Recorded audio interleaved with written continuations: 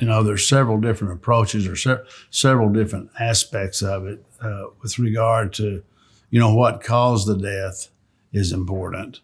But being able to convey to the jury the impact that the death has had on the family members is very important.